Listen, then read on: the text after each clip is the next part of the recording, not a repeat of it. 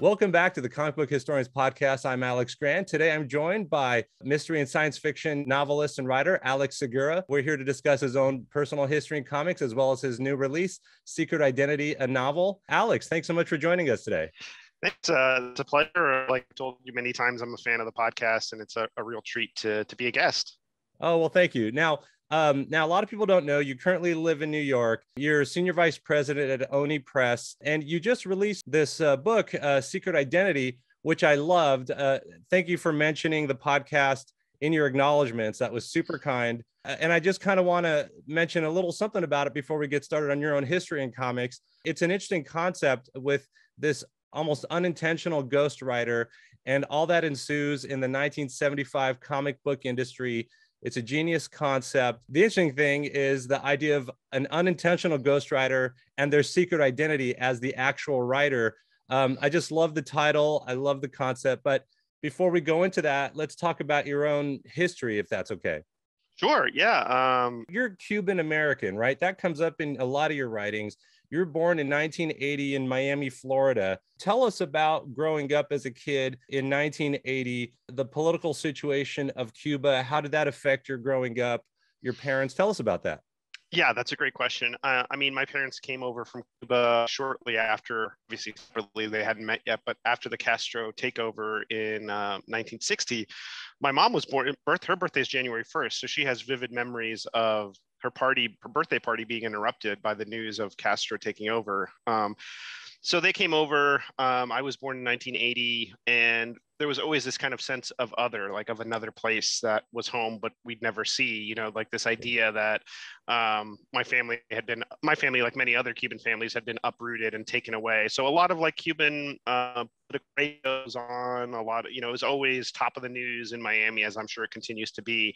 Um, what was happening in Cuba. It was very much this sense of like detachment. Like we were here in Miami and everything else was going, you know, other stuff was going on in Cuba that we we just weren't part of because of this you know this man a lot of the blame was laid out on castro and his takeover and it was uh it was an interesting way to grow up grow up because i i, I think it was fairly unique I, I don't know i didn't feel it very unique to me in that home was miami but there was also another home that i'd, I'd never get to see um and I grew up a comic reader. I mean, my first comic was an Archie comic. Uh, I remember my mom picking it up for me at the uh, grocery store at Publix. Um, I think we were in the checkout aisle, and I was about five or six. Um, and I just remember the Archie stuff presented this Americana that I wasn't really familiar with. Like in Miami, you don't have seasons. You know, it's always great weather. You know, it's you know it's culturally a melting pot, and uh, just so different from you know the Archie Americana was was very appealing because everyone everyone was friends. It was just this very happy-go-lucky scenario, and um,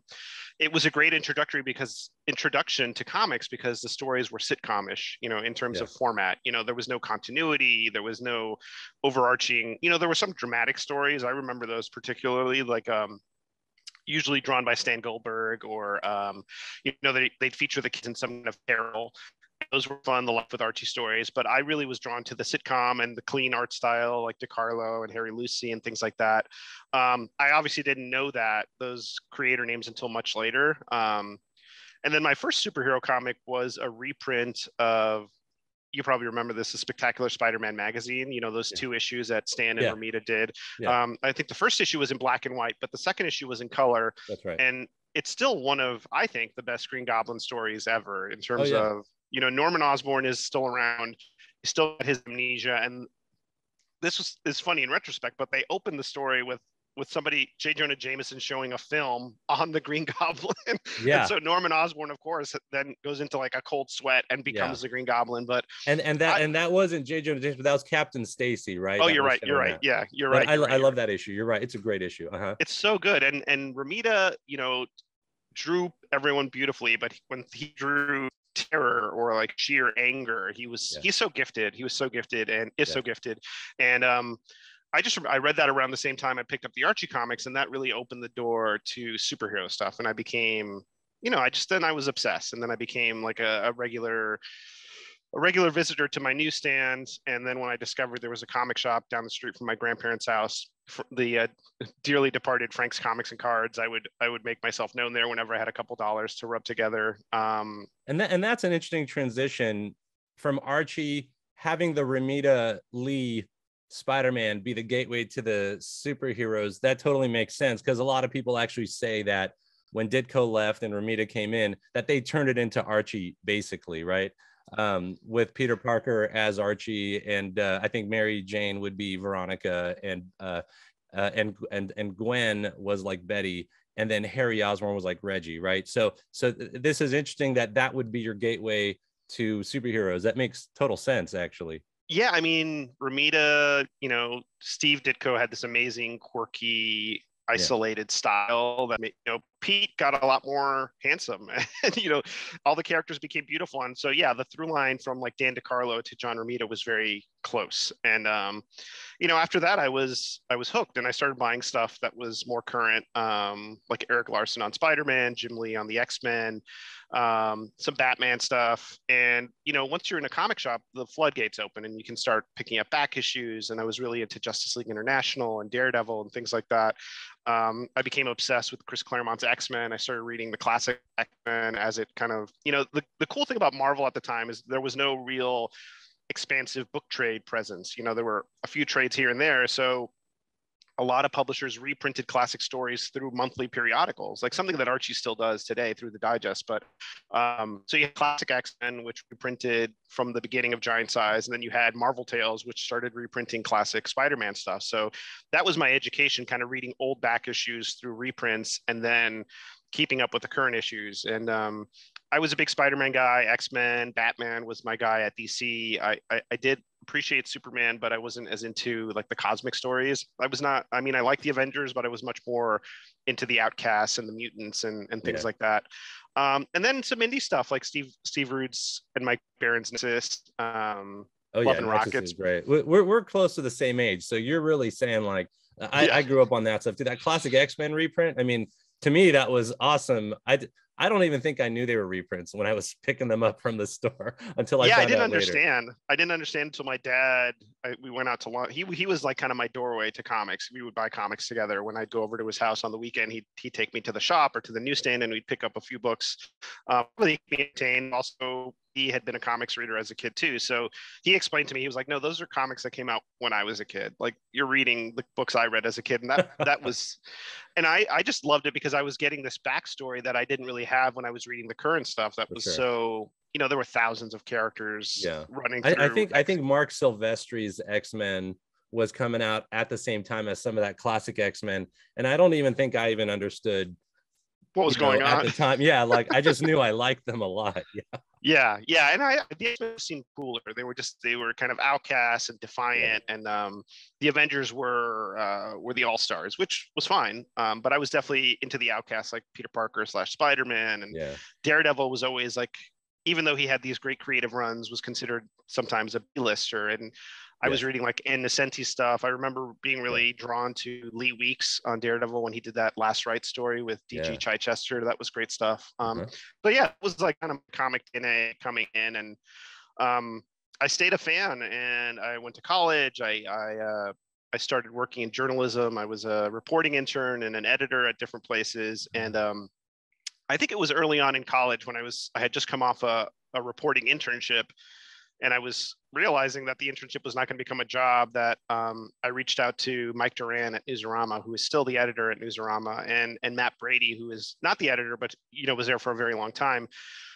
Totally like a cold AOL instant message. I just messaged them, and that dates the conversation as well. Um, but I messaged them and I was like, "Hey, I'm a journalist. I'm a reporter and an editor, and I am a huge comic book fan, and I'd love to like I mean, I, I, I read the, I was, you know, like you, I wasn't just a fan of comics. I was a fan of the history of comics. So as a kid, you know, I would even do like my own like fantasy football style pairings. Like, what if John Byrne drew Spider Man? And this was before he did. But you know, things yeah. like that when you're yeah. like kind of moving the pieces around to figure out figure out what a great match would be. Um, and I'd always read you know books about comics and the history of comics and um, that was so that was my first kind of comic book gig interviewing creators i interviewed peter david about young justice oh that's great yeah yeah um, and it was email the early the early days of email interviews so um, and ed brubaker was one of my first interviews for point blank which was kind of the book that set up sleeper in the wildstorm universe and um, you know they were giving me a lot of the kind of entry interviews like let's see this kid do it and um, I stuck around for a couple years, and eventually I saw Wizard magazine had an opening for an associate editor, and I grew up on Wizard. Um, I didn't have a ton of money as a kid of my own. Uh, so if I only had like five or six bucks, I would buy Wizard because then I'd at least know what was going on in comics and read the interviews. And that was really my gateway to behind the curtain as opposed to just reading the comics and enjoying the stories. I got to meet the creators and kind of get a sense of their personalities, which was right around the time of the image revolution, um, which was so exciting. And Valiant was huge at the time, and DC and Marvel were doing Death Superman and uh, uh, you know, Knightfall and Heroes Reborn a few years later. So it was a very intense and epic time to be a a comic reader. Um, oh, yeah. Um, yeah, there, there was definitely like a cultural climax of the 90s that almost seemed to signal like the end of the old way, but you had to be there to feel that. Yeah, it was really a seismic moment in comics, I think. And you and there was also like business news, like Marvel buying Heroes World, and yeah. you know companies being born, or you know you know Marvel buying Malibu. I remember that was a huge story. These these stories that are now kind of not footnotes, but like only referenced by insiders. But it was an interesting time to watch the industry grow and contract and then grow again. Yeah. Um, and so I reached out to Wizard. I applied. I spoke to Joe Yanarella, who is now at Bleacher Report. He's like a big wig at Bleacher Report. Um, and he was, he, I flew up to Congers, New York, which I thought, oh, I'm going to the big city in, uh, you know, Rockland County, New York is, is, is suburban. It's suburbia. It's not, it's not Manhattan by any stretch, but it was my first exposure to snow and the Northeast. And um, I got the job, which was amazing. And I was there for a couple years and I got, that was really a crash course in working in comics full time. So I went to conventions. I got to meet a lot of. I got I got to put faces to names, like people I would email or talk to on the phone. I became, you know, I got to connect with in person, which was really exciting. Um, and then after that, I moved now, what, what year? What year was that? Just so we're all on the same page. Early 2000s. So I think 2000. 2002, 2003, and then yeah, after that, yeah, and then after that, I moved back to Miami and worked at the Miami Herald again, and I started um, reviewing graphic novels for the newspaper in addition to like just my job as an editor and working on the website um, and that was fun because i got a ton of free books i got to review a bunch of cool stuff like gibbons is the originals and the watchmen reissue and stuff like that a lot of indie stuff um, and i emailed my contact at dc david hyde and um, i said i'm going to be in town in New York on vacation, I'd love to just visit the offices and say hello. And yeah. you know, I'd never gotten a tour of the DC New York offices. I never, you know, it just felt like a dream. Um, and David said, "Sure, I'd love to see you. Would you want to apply for this job?" And they had a job as a publicity manager at DC, and I said, yeah. "Okay." I hadn't even considered moving back to New York. I thought it was just going to be what it was going to be, and I was going to be in Miami, and that would be, not to sound resigned. I just didn't think I'd come back to New York quickly. Um, and I ended up this all all these conversations happened as I was already on vacation in New York, so I had to kind of scramble and you know buy a suit and prep for an interview. And um, I spoke to David, I spoke to the marketing people. I got to sit with Paul Levitz for the first time and and uh, and chat with him for the interview, and and I got the gig. And then I was back in New York and I was working at DC publicity, and and um, really that was a great I always knew I wanted to write, so I always knew I was going to eventually write my own stories, whether they were com- this comic. was this was 2012. The the uh, the official job title was executive director of publicity, right? Actually, when I I was I had two stints at DC. The first there one was publicity manager, and it started in 2006 to about 2009. There you go. Okay. Yeah, yeah. There you go. So that's where that's where that started. Okay. It was a great opportunity as a publicist well as a journalist to show over publicity and learn how to be a publicist but also as a someone who wanted to write and write stories to just see how it was done and just soak up what these people were doing like people like brad meltzer who i'd met when i was at wizard but i got to meet him and kind of see how he worked uh, you know scott snyder gail simone greg rucka you know so many huge huge talents and just seeing not only how they behaved as professionals but also they the work. You get to read scripts you get to see the process and I was probably the publicist that just loved hanging out in the editorial offices yeah. just hearing hearing what was coming up sitting in different editors offices and seeing what they had tacked onto the wall. So um, and then as publicity manager so then what would you do with that information you'd figure out a way to promote it. You'd figure out the timeline, like you know, do we where do we announce this? Where do we show preview art? You know, you create a timeline for for announcing announcing the work and, and promoting the work. And um, and this was an era where Wizard was still around, but kind of not as powerful as Wizard had been. You know, they weren't the tastemaker, and I think the challenge there was because Wizard had a web presence, but their web presence never really like broke out timed. You know, you had Newsarama, you had comic book resources, you had a bunch of other online outlets that, and I was partially guilty of this. You know, when when I left Wizard and I came back, I did some freelancing for Newsarama, and I'd get my subscriber copy of Wizard, and then I'd run to Newsarama and we'd post the story like saying, "Hey, Wizard is reporting so and so." So the the exclusivity, you know, when you're when you're a print magazine, your exclusivity is only as long as somebody looking at it and retyping the story. So you know, we right. credit we credit Wizard, but they no longer, I guess, had that same power. And I'm I'm not taking credit for the that alone. I was one of many reporters doing that. Um, so anyway, so as a publicist, you had to you had to pitch around the story. You, you, dealt with the comic trade. I was mainly the comic book trade person, so I would interact with Newsarama and Wizard and CBR and all those places, and and that was a lot of fun because I came the comic book trade, so it felt like I was really just chatting with the people that I was contemporaries with, and um, I got to hang out and talk to the creators, but also see what the editors were doing. You know, people like Steve Wacker and Pete Tomasi and Joan Hilty and Mike Marts and um, you know, uh, and Dio, Dan DiDio had just kind of was had just set up shop there at DC as the head of you know the you know editorial and also a lot of the Vertigo editors like Karen Berger, Shelly Bond, Dennis. So it was it was an education every day, just kind of seeing. I my eyes were like starry eyed most of the time, but I tried to kind of keep it together. Um, but it was a great education and it was a really cool experience. And, and that's an interesting time because there's a lot of like the the like older people in comics and then newer people coming in.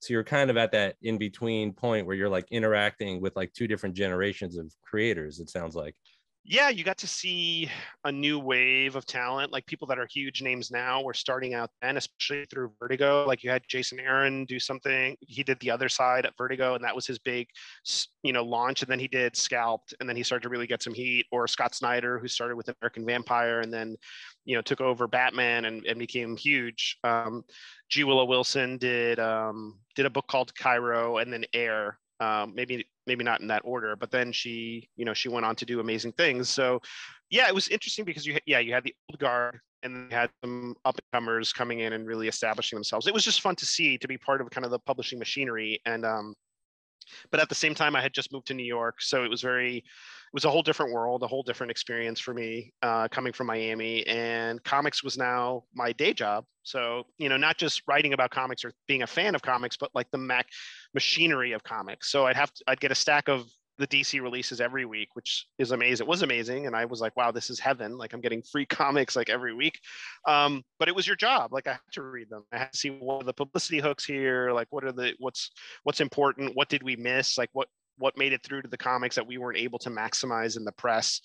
Um, and so I started thinking about other things creatively, and I was reading a lot of noir novels, like um, I'd always liked true crime. I'd always liked crime novels as a kid. Not, I mean, you know, I stuff like I read The Godfather at probably a too young an age, the novel, which is really pulpy and dark, um, and a lot of like Sherlock Holmes and stuff like that. So I always loved mysteries, but um, yeah. I got turned on to a lot of newer crime or you know other other icons like Jim Thompson and Patricia Highsmith and um, Ross Macdonald, and then more current writers like Duane Swierczynski and Laura Lippman and um, Megan Abbott. You, you, were going back. You were exploring the genre on a yeah on a literary level. It sounds like. Um, yeah, I was really going to like. It was like a buffet table. I was yeah. getting a little bit of this, a little bit of that, but I. Uh, uh did you like uh, what like Chandler and Dashiell Hammett and all that stuff too? Yeah, I was more of a Chandler. Yeah, Chandler was uh was the sweet spot. It was just like you know he set the tone for PI yeah. fiction forever. Like whenever yeah. you write a PI novel, you you you owe some debt to Raymond Chandler, whether you're flipping what he did or you're just honoring what he did. Um, but a lot of the mysteries I was reading were really steeped in setting. So you know, you read a Baltimore novel by Den- not a Baltimore, you read a Boston novel by Dennis Lehane, and you felt like you were touring the seedier sides of Boston, or Baltimore by Laura Lippman, or you know, Washington East by George Pelecanos. And um, I think in the I was really homesick at the time. You know, New York is very is amazing. You're full of people. There's people everywhere. You're surrounded all the time, but it can be a little lonely, you know, especially if you're coming from a different place and it just feels you're isolated. So I started to get really homesick and I thought, well, what if I just for fun started writing my own PI novel? And I created this character, Pete Fernandez, who um, was like me, Cuban American, and and uh, had similar background. And, and, what and what year did you like conceive of of of Peter Fernandez? You know, it's it's funny because the first edition of the book came out in 2013, and by then I had left DC, gone to Archie, and come yes. back to DC. Yes. Um, but I was thinking about the Pete novels long before then. You know, I was thinking about it towards the end of my time at the first time at DC, and I was pecking away at this book and thinking about it. And um, I was I had a draft. You know, I had a draft. Um, and was, I remember sharing it with uh, John Cunningham, who was the SVP of sales or the VP of sales and marketing then. And I had never really shown it to anyone. And I printed it out at the work computer, and I was like, "Here, you know, just rip it apart. If it's terrible, don't tell me." And um, he read it and he was like, you know, those first few pages got me hooked, and that's that's the first victory. Um, and I think people don't really recognize those early reviews or those early notes of encouragement. Like writers don't forget that because it's yeah. it's do or die at that point. Like you're so so fragile at that point that you're you don't even think about like if someone says oh this is terrible it just could sink your momentum and yeah, you just say well it's sure. not for me um even as an interviewer that's true i think uh the Neal Adams and, and Jim Steranko, when I interviewed them, and they just kept they complimented me a lot after, like you really did this right. Now that totally without that, I don't know if I would have even continued, you know? Yeah, yeah, it might kill your momentum. And um, so at times I was still writing the first draft and, and I moved from from DC to Archie and at Archie I oversaw all publicity efforts as opposed to being just part of the pub. That was 2009 when this happened yeah and but i did get my my first comic book credit came at dc i wrote a, a short story for a halloween special that mike marts was editing um, which i really owe him because at the yeah. time there was it was frowned you know it was kind of frowned upon for dc staff to write at dc which for good reason i mean at marvel remember marvel in the 90s when editors were writing all the comics and it became this issue um, but Mike knew that I wanted to write, and so it was a throwaway Flash and Frankenstein story, but it was a lot of fun, and it got me kind of thinking about the conventions of comics and the structure of a script and things like that. Um, and that was my first credit. And then when I got to Archie, I was obviously doing publicity, but I, I had made it known that I wanted to write. And um, Mike Pellerito, who was uh, the president then, threw me a few classic art stories. So I wrote one where they went to a comic convention. I wrote one where Archie had like four dates on the same night, and um, and that kind of opened the door to Archie Meets Kiss, which was my first like big project. Um, our CEO Jon Goldwater said, you know, Gene Simmons wants to do Archie an Archie crossover, and then I don't know what possessed me in the moment, but I said I'd look, I'd love to write it. You know, I, yeah. I, I, knew I knew Kiss, I knew of Kiss, and I I obviously listened to the greatest hits, but I was by no means a Kiss obsessive. Because that, that's kind of before our generation, I think. Yeah, yeah. I mean, I was more like, I mean, I love the Beatles. I love like 70s music, but yeah, for whatever reason, Kiss was a little bit of a blind spot, but I knew enough yeah. to be able to write a story about them. And so, and with Archie Meets Kiss, we brought in Francesco Francavilla to do the covers. And I think that helped, you know, recalibrate how people looked at the character. Yeah. Um, so it wasn't just like this classic style he could be interpreted in different ways and that was that was that was a big game changer and around the same time after that, a few years after that, I moved back to DC, and that's when Silent City was ready to come out. And then it came out from a very, very small um, publisher, Codorus Press, and uh, it was like a, a, you know a boutique publisher, and eventually got picked up by Polis Books, and and they reprinted Silent City and then published the rest of the Pete series. Yeah, and and then just so people don't know, yeah, the Silent City is the first of the Peter Fernandez um, series. There's five of them, from what I understand, and then there's they got mm-hmm. their Anthony Award nominated series um, uh, Silent City, Down the Darkest Street, Dangerous Ends, Blackout, and Miami Midnight. And I love the covers. I love the neon of the covers. Oh, yeah. Uh, I, I think that's just so much fun. Um, but that being said, the, you touched upon it is you have a long history of implementing music into comics. And what, what's interesting about that is that's that's not easy to do to converge uh, an auditory medium into a visual medium like comic books. But um, all the samples I've seen, which we'll talk about some also, you know, like Archie meets the Ramones and uh, the Archies. And there's something about the way those are presented that I, I feel like I'm feeling the music as I'm reading those. How did music make its way in? And I noticed that with Secret Identity, there's references to the Velvet Underground, um, things like that. So how does how did music kind of get involved in what you do? Yeah, I mean, music's always been a passion of mine. I was in bands in college and early on when I first moved to New York.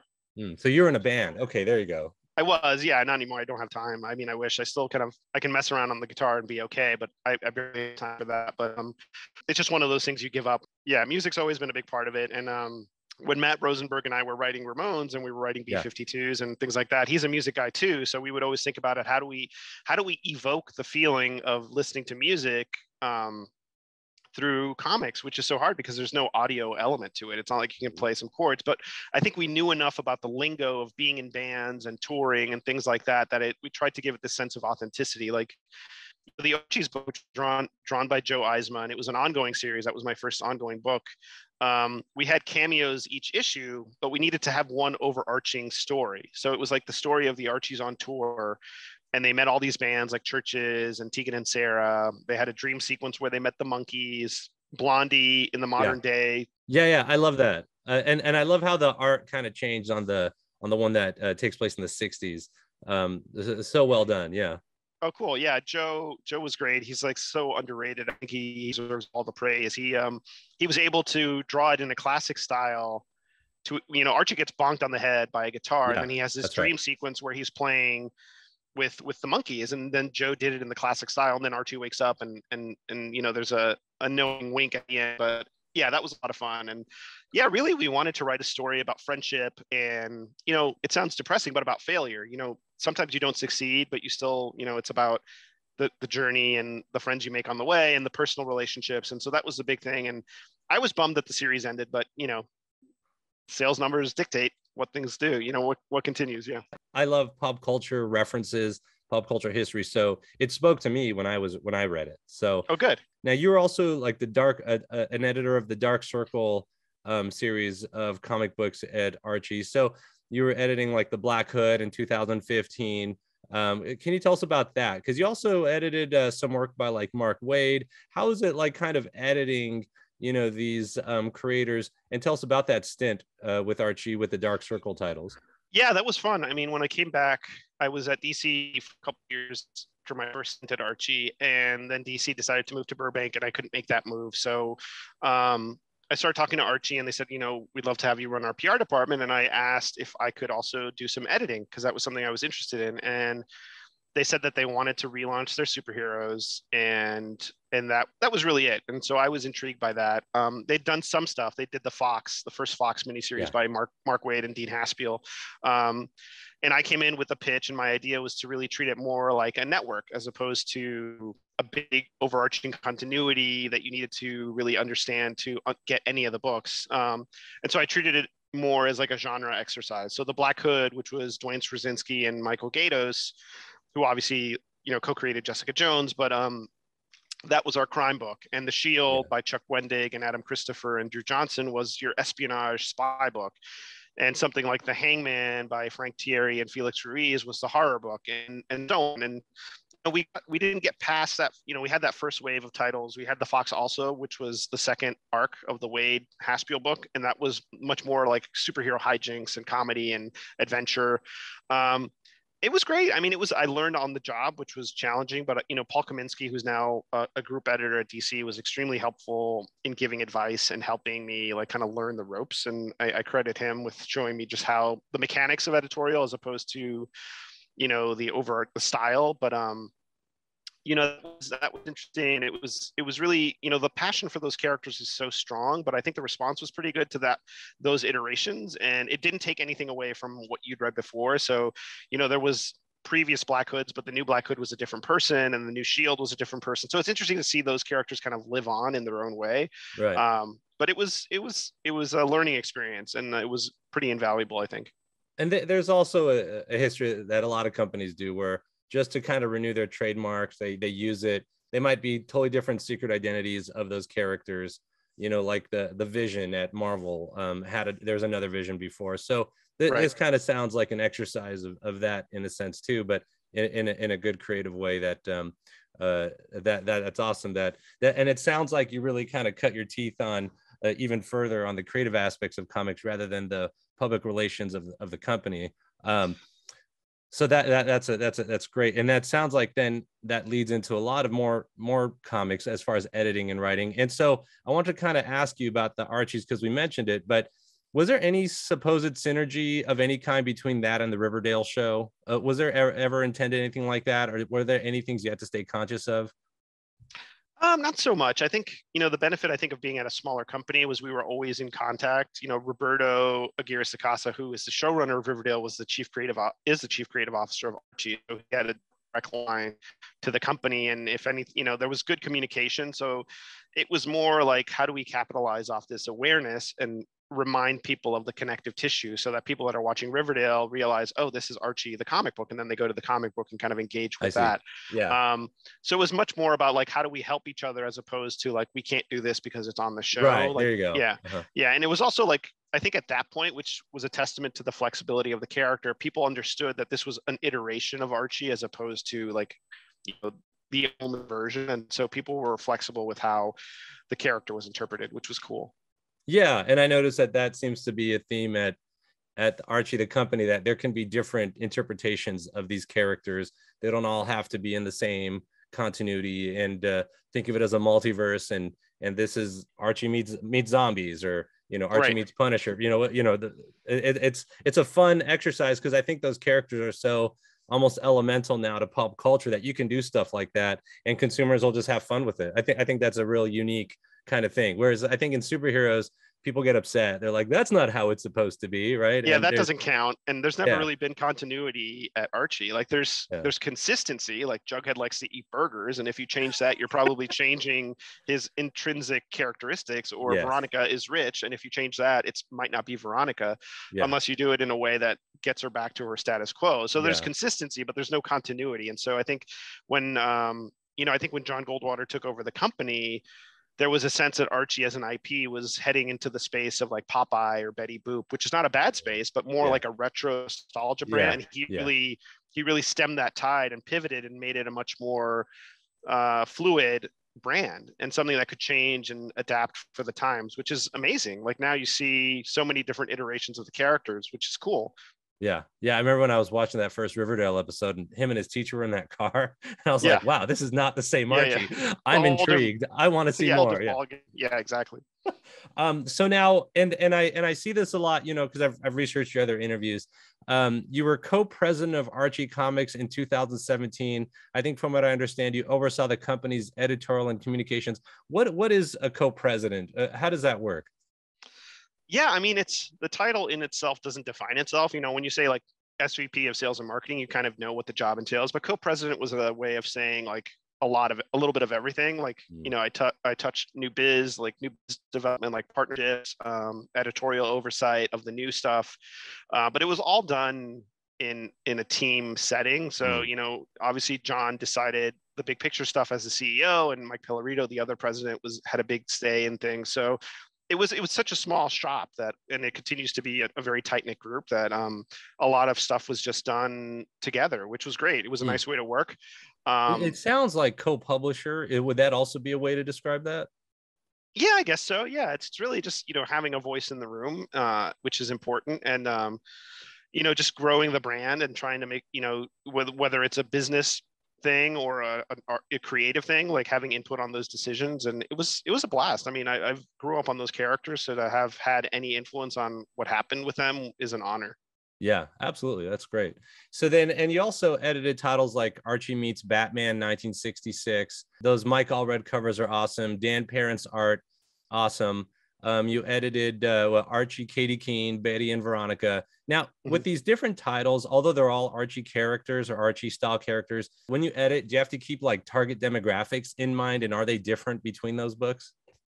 Yeah, they vary. I mean, I think the big shift is when you're doing like classic Archie, you're obviously doing something that's family friendly and for all ages. You have to keep that in mind. Whereas you're doing something, the shorthand we used was New Riverdale, but that was, you know, we phased that out. But the idea is like Archie stories that evoked Riverdale that actually predated Riverdale. Like the Mark Waid, Fiona Staples, Archie stuff was in many ways what spurred people to understand Riverdale and came out first. But in that world, we the shorthand we used was New Riverdale, but that's a little bit more YA leaning. Um, it never veers into adult. But then you have stuff like Dark Circle, which was much more like our HBO content. Like there was, uh, you know, some adult language, some the violence was more intense, but it was also a different imprint. So yeah. we were okay with that. So yeah, you always have to kind of know what your audience is, and you obviously want to ho- hopefully expand your audience, but um, we tried to keep those things in mind.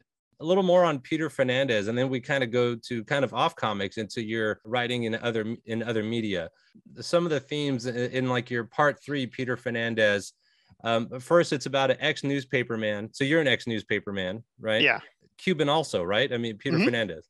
And uh, but then he turns into a PI. He wants to redeem himself, you know, uh, by helping people. He's alcoholic. You know, he's got baggage.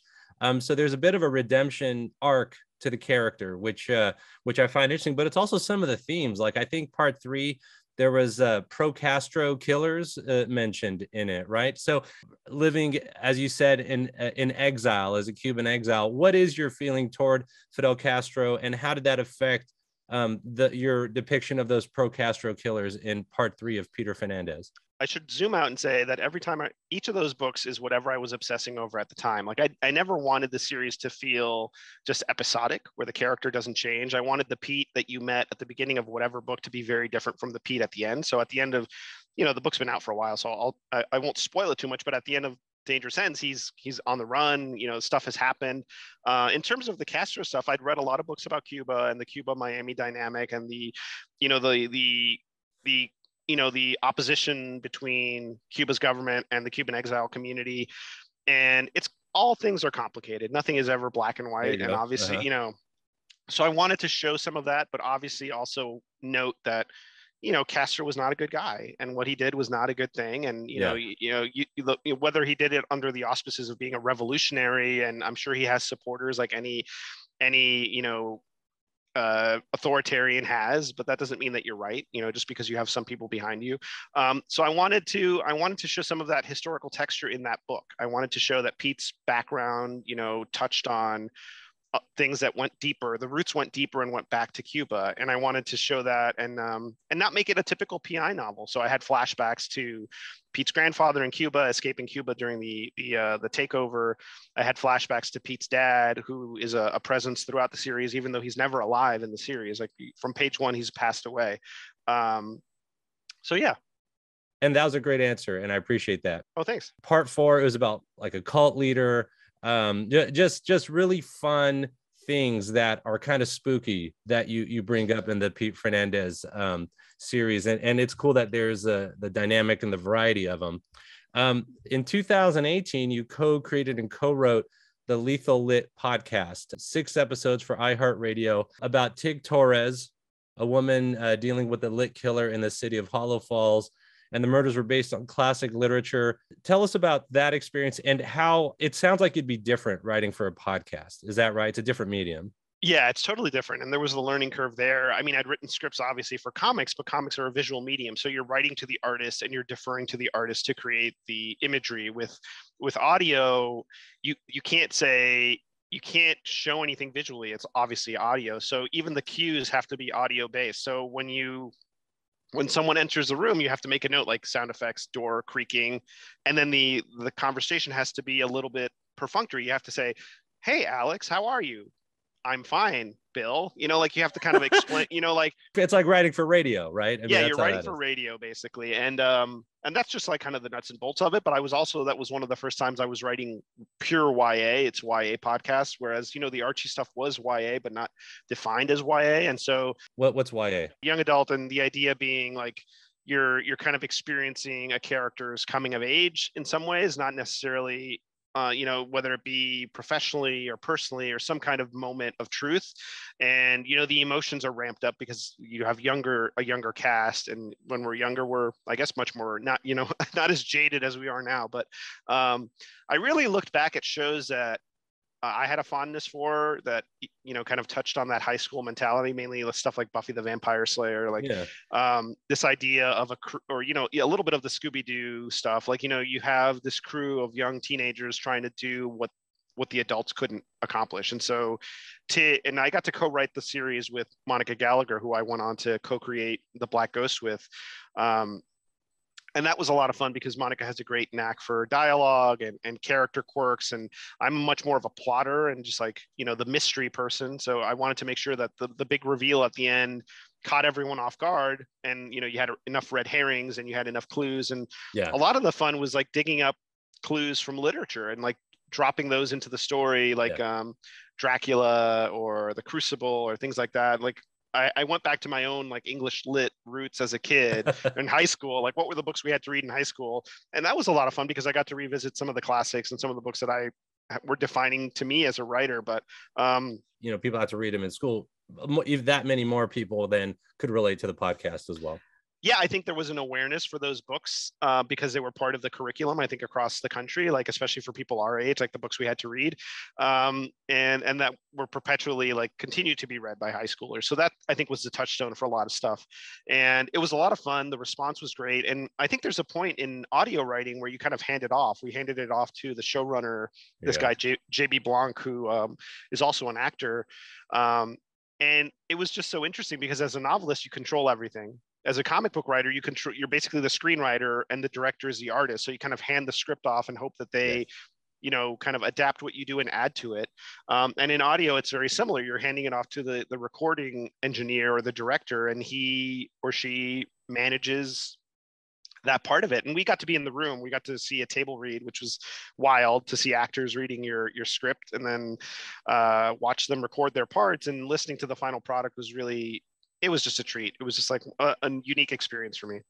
Yeah, that's fun. And you would actually write the sound effect in the script, is that right? Yeah, kind of. Well, you would note, you would note it. And then the producer would do whatever with that. That's fun. Yeah. Yeah, in comics you have to specify like literally "thoom" or crack or yes. you know, whereas in audio you just note okay SFX door opening or SFX hand slamming onto table like, and they can always tinker with that and and do what what what they want, but at least right, you're kind of right. giving them a guide. Um, and it's interesting because the audiobook of Secret Identity has those comic book sequences, but they're done in an almost audio drama way. It was just really neat. We can get to that, I guess, when we touch on that. But. Yeah, which I'm excited to talk about um, because I, I, I noticed the red herring, and I'm not gonna say what it is in Secret Identity that uh, that I was actually myself going up the red herring tree for a while. Yeah. Now in 2018, you wrote uh, well, you wrote a story in Where We Live by Image Comics about the eyewitness account of Layla Tyree about the Las Vegas shooting. Um, mm-hmm. Tell us first how that shooting affected you and how you got involved in writing that short story. Yeah, I mean, gun violence is so, such a prevalent problem in our country. It's just it's insane and it's it's costing so many lives it continues to be a problem and you know we've we've moved far beyond thoughts and you know quote unquote thoughts and not to get too political but quote unquote thoughts and prayers solving anything i mean we need some like serious legislation so you know what happened in vegas was catastrophic even in comparison to other mass shootings not to compare and contrast but it was just like such a a terrible situation and then um J.H. Williams, the amazing artist, and was editing this book with Will Dennis, who I knew from my days at DC. And they reached out and said, We have some eyewitness stories. Um, we'd love a writer who has like a journalistic background to talk to these people or at least read their um, their stories and, and put them into comic book form. And so I got to work with um, Marco uh, Finnegan, who's a great artist um, and and do one of those. I did two of them, and uh, it was just it's it's so intense to read these these stories of people like literally running for their lives or watching people be gunned down. It was so heart wrenching, and um, I felt it was it was a huge responsibility to have to craft those stories and then relay them and do justice to their stories, but also have a message and a theme. Um, it was hard, and it's also it's hard to be succinct in any medium. It's hard to like, you know, with a novel you can write it as long as you want. With a short story, it's much harder. You have a couple thousand words to create a vignette. Like in a by vignette, I mean an emotional response as opposed to like a three act structure. Um, and so, you know, it was a challenge, and it was such an all-star crew of creators in that book so it was really an honor to be part of it and that was the first time anything I, would written was in an image publication so that was cool to see as well 2019 this was a fun one i, I enjoyed flipping through it this was the, the black ghost for new oh, wave oh, cool. comics 2019 it's about reporter Laura Dominguez, also from Miami, mm-hmm. investigating becoming the vigilante, the Black Ghost. So there's definitely a theme of you know these Miami-based investigators, you know, um, yeah. kind of transplanted into a new place. But in this case, becoming a vigilante and almost like the lethal links in a sense. So, can you tell us first about writing in the perspective of a female vigilante or female investigator? I know that you share roots as far as the Cuban heritage, being from Miami, being able to speak from that perspective. But how do you then also go into another gender and tell us about that in context of writing The Black Ghost or co writing The Black Ghost? yeah the black ghost um, sprung out of lethal lit in many ways that you know monica gallagher and i became fast friends and our collaboration was so painless and that's really hard to find collaborators that you not only you know you like them as people but you also enjoy working together and you feel like the the final product the union of your work is greater than you could have done by yourself. And and so i think working with monica is that kind of collaboration where she adds so much and i add so much and the, the final thing is is greater than the sum of its parts. Um, and so we went back and forth. We finished lethal lit and i said do you want to work on a comic stuff? Because monica is a comic book writer and artist. She uh, she's done so many amazing things for different places. Um, and we came up with this idea the black ghost and we wanted to in the same way that pete the Pete Fernandez books honors the PI genre, but also flips the script on a lot of stuff. You know, Pete, like many private eyes, is an, is a hard drinker, but he's also kind of in recovery and he's dealing with that in a way that I didn't see a lot of other PIs do it. And um, we kind of flipped the a few of the tropes. I wanted to reapproach the idea of the street level kind of crime fighter, especially the legacy aspect of it. Like a lot of times, you you see not to you know criticize anyone but i wanted to really look at it in a closer way like what pushes someone to take on these this costume and decide to become a superhero and um, i'm pretty proud of the twist at the end of the first issue because you go into the first issue you think it's a story about a reporter chasing the hero you don't assume that the reporter is going to then become the hero. So it's about Lara Dominguez, who's this obsessive um, journalist with her own personal problems um, in this new in this in in the city of Creighton, which was our love letter to kind of Gotham City and and Hub City and places like that. Um, and so in, in terms of writing outside of my experience, since you know I'm a, a straight man and and Lara Dominguez is a, is a woman, you know, obviously Monica was a great resource. You know, you know, mm. she could speak to a lot of things that I didn't know, and and we we kept a great you know dialogue going there so i think that was the main the main thing there. And um she had and, and much... it sounds like she kind of helped provide insight into things that you may not have considered on your own. Totally. Yeah. And um and so the idea there was to really catch people off guard by the end of the first issue. And so you read the first issue you think it's going to be about La- lara ch- La- laura chasing around this vigilante this great vigilante and then he dies at the end and of the first issue and she the, that first arc is about her journey deciding to become the next black ghost. And that that was kind of a you know a little nod to the dc heroes i loved as a kid like the legacy heroes uh, like Hourman and things like that where there's another iteration of the hero in a generational story. Um, and so that was a lot of fun. And really writing a vigilante crime fighter story as crime fiction, kind of blending my favorite stuff about crime fiction with superhero stories. And I really leaned into stuff like The Question, the Denny O'Neil run, mm. um, Ms. Tree by Max Collins and Terry Beatty, and things like that. So it sounds like you, you, whenever you explore a genre in a specific medium, you check out previous works in that to see about style and things. That tunes you in more in that sense to like comic history moments as well, which is which is awesome yeah, I mean, I try to immerse myself in what's happening in that space. If I'm going to be part of that space or add to it, I always want to be, I want to be additive. I don't want to just do something that's been done before. Like I wanted to definitely evoke crime fiction and superhero crime fighters in a different way. Like I'm not saying it's totally like groundbreaking, but it's it was something that felt new to me. And look, at the end of the day, and I think this is a truism of any kind of creative stuff, is that you have to write the story that only you can write, but that you want to read, you know, that you're obsessed with. So yeah, that's true. That way it's actually fun also to do it. Yeah, exactly. Now this is a whole different kind of direction, but Poe Dameron Freefall yeah. uh, 2020, uh, you wrote uh, the origin of Poe Dameron in a Star Wars novel. He was partially orphaned, seeking adventure with the Spice Runners. How'd that come about with Lucasfilm? And how were those discussions? Were you given an outline of what technical things they just needed to have in there? How did that all happen?